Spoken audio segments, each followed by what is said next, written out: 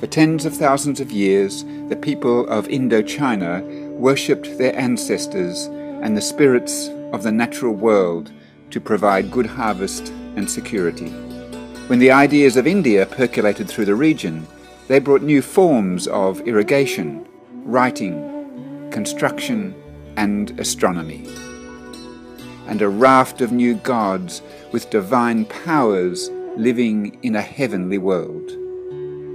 In Angkor times, the kings built a model of that heaven on earth to legitimize their power and prestige. As the empire expanded and grew in power, so too did the temples in size and complexity. Elaborate gates and causeways, extended porticos, new galleries, storehouses, and beautiful pavilions.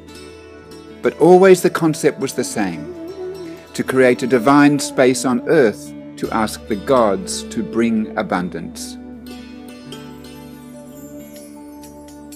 Temples Decoded is a great introduction for every traveller to Angkor. Hundreds of images, live drawing and sketching, a large interactive model and beautiful lighting to tell the story. Welcome to a great banquet at the Explorer's Table as you discover this incredible country.